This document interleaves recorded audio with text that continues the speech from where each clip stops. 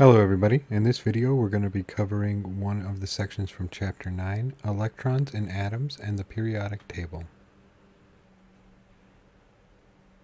In this section we're going to learn more about the electromagnetic spectrum.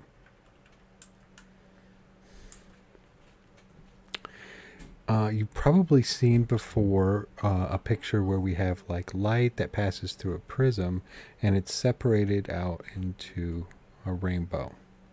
This is what we call a continuous spectrum, meaning that there's no break in it anywhere. And what's happening in this process is the white light that contains many different wavelengths of light is being separated out by its wavelength. And that is what determines the color that we see.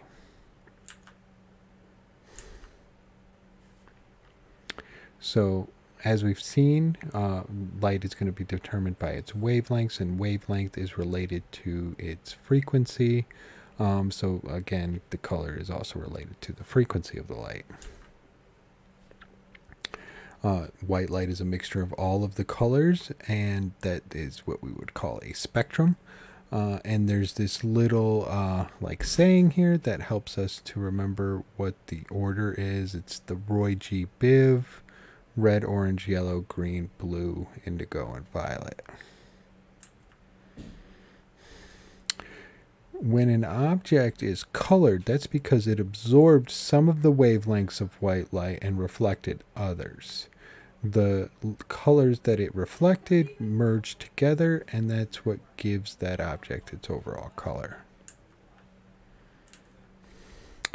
There are many different forms of electromagnetic radiation um, that covered the entire spectrum of wavelengths, uh, starting all the way down at the bottom with uh, radio waves. Those are any ones that have a wavelength that is larger than 0.01 meters. Um, next, we're going to have microwaves, and we can see that, you know, radio waves we use this for transmission of like uh, the sound that comes out of your car and stuff like that on your radio and, and cell phones and stuff.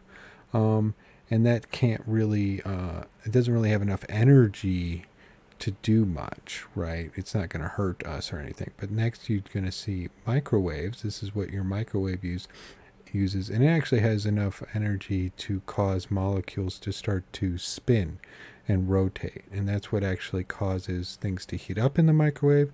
You're you're targeting the water molecules. You're making them move and spin around.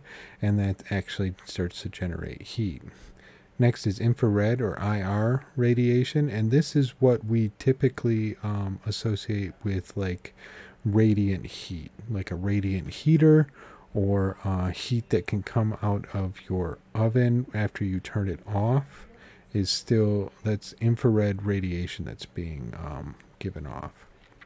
Then we have the visible light that we see. After that, we have ultraviolet light. Certain uh, light sources give off ultraviolet light, fluorescent lights give off a little bit of ultraviolet light. The sun gives off a lot of UV light, um, and it actually is responsible for the burns that we get from the sun. Next are x-rays. Um, you've probably seen this in like a medical context or something like that. Uh, and it actually has quite a bit of uh, energy. It's able to permeate through most of the tissue in your body, but not your bones and then anything that has a wavelength that's less than 10 to the negative 10 meters, very high energy uh, rays are called gamma rays. We can picture this uh, in this electromagnetic spectrum here. We can see that as we move along, the uh, wavelengths get smaller and smaller, the frequency would go higher and higher. Uh, and we can see that the visible light that we see is only a small sliver of this and that is covered in here. Uh, so it's kind of like we're taking this small sliver and expanding it out. So all of the wavelengths between about 750 nanometers to 400 nanometers uh, we can see with our eyes. So we've talked about how light uh, is a wave and it travels as a wave but it is also a particle, which is a bit of a contradiction.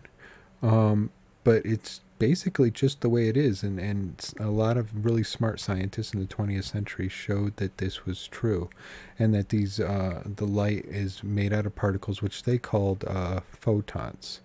Um, a lot of people remember Albert Einstein for like relativity and stuff, E equals mc squared, but he actually won the Nobel Prize for uh, the electrophoto effect, which is where he showed that when photons strike certain materials, electricity can be given off, which is the basis for uh, solar panels that we have now.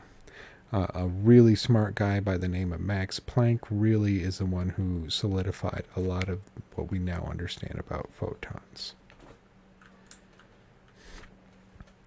Each of the wavelengths of light is comprised of photons that have different amounts of energy, right? Because the energy is related to the wavelength.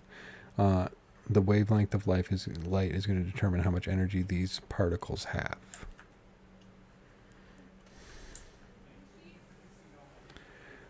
Short wavelength light, so high frequency light, has photons with high energy. High frequency light has photons with high energy.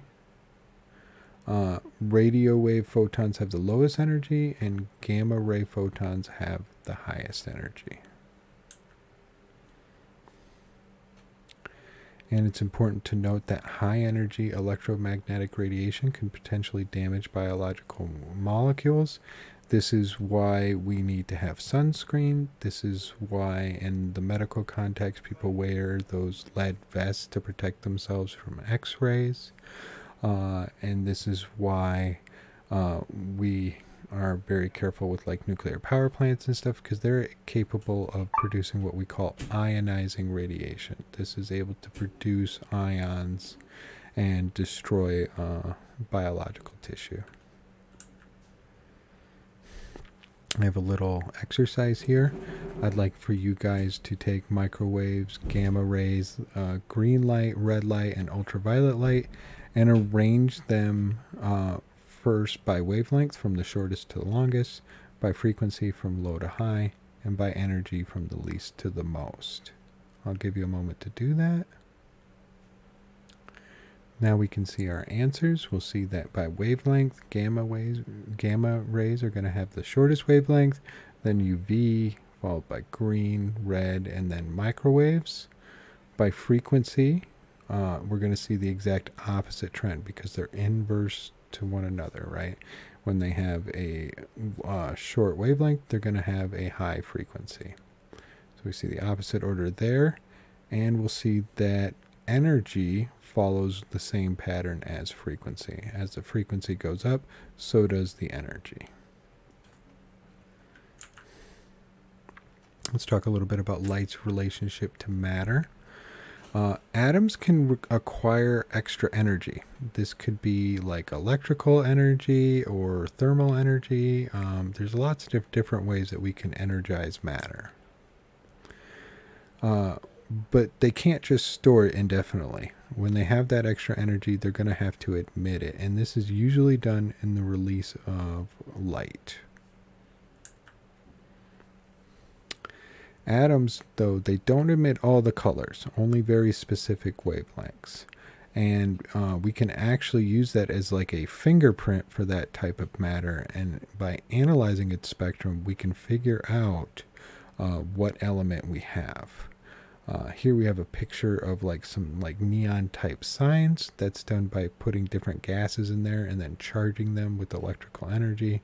Here's an example of like a laboratory setup where we fill this tube with a certain gas and then charge it with uh, electricity and it emits uh, photons of a specific frequency. So in this case, instead of the continuous um, spectrum that we saw with the white light example, what's going to wind up happening is we're going to separate out all the wavelengths and only specific wavelengths are going to come out and we're going to get this discrete spectrum afterwards meaning that it doesn't have all of the different wavelengths in it, but instead very clean spectral lines. This is what we can use to identify what kind of gas is inside of the tube. Here's some examples here. You can see the continuous example with the white light spectrum. Here is what we would have if we had hi uh, hydrogen. Here's what we would have if we had helium. And this is an example of neon. Um, the fact that we have more and more electrons in each of these is the reason why these uh, spectrums start to get to be more and more complicated. There's two ways that this is done experimentally. You can do an absorption spectrum, meaning that we're going to uh, bombard a sample with uh, light of every different type of uh, wavelength, separate that out, and then we're going to see what made it through. Okay, so we're kind of getting the reverse of this spectrum here. We're seeing just what it was able to absorb. Or you can have an emission spectrum. If you can, in some reasonable way, get it to start emitting light, we can separate that out and then see what the uh, spectrum looks like. So here you can see that the absorption spectrum uh, in this case is everything but what it absorbed. So it is kind of the inverse of this emission spectrum here.